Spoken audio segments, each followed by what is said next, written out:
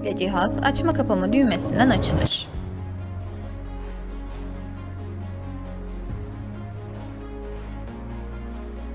Menüde ok tuşuna basılır. Konfigürasyon menüsüne giriş için HE'ye getirilir ve ok tuşuna basılır. Kontrole girilir. Otomatik mod seçilir ve çıkış yapılır.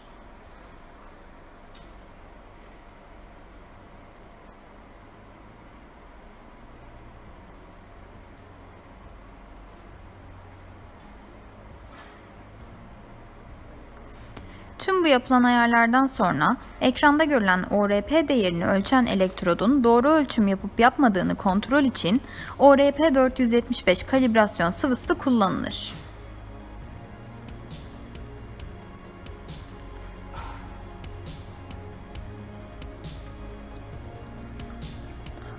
ORP elektrodu ORP 475 sıvısına daldırılmak için öncelikle temizlenir ve temiz bir bezle kurulanır.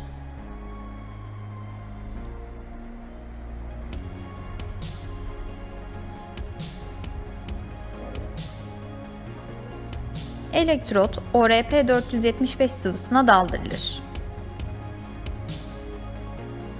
Menüde ORP değeri okunur.